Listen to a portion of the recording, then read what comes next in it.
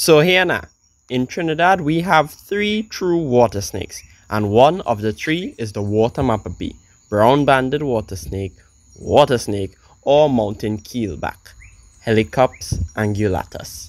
Well, I know what some of you thinking or what all you're going to say. Ah, well, no, it's not poisonous or harmful to humans.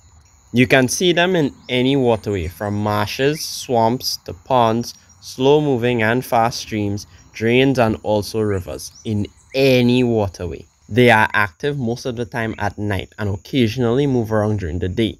The average size is around 31 inches or 78 centimeters, but I've seen one that was 37 inches in length. This snake is interesting in so many ways, and one of the ways is how it reproduces.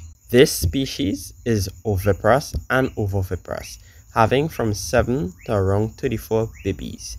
They are one of a few species of snakes that can do both.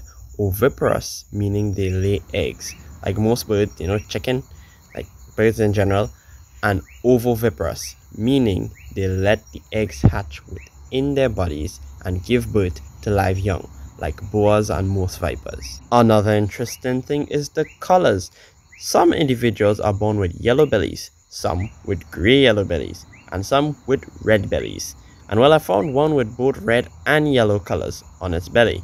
The colors are random it doesn't mean male or female, it's just random genetics. And because of their colors and patterns, a lot of people has mistaken them for a Mapepire balsain and somehow a coral snake. Plus some people told me they thought it was a water coral. Now the water Mapepire is a mildly venomous snake with rare fangs, but the venom can't unalive people.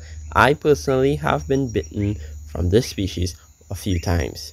So in all, you don't need to worry about this snake. The venom is more potent to its prey items. It feeds on fishes, frogs, worms, and lizards. If you come across one, most of the time it will freeze and then look to swim away.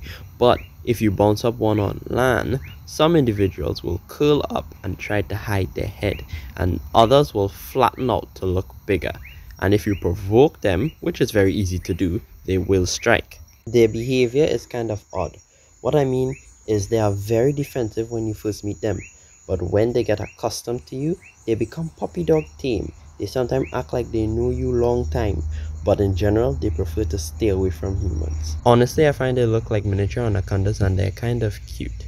And it's harmless. And as you all know, I am the Wildlife Master. Like, share, comment, subscribe if you haven't already, and until next time, blessings and bless out.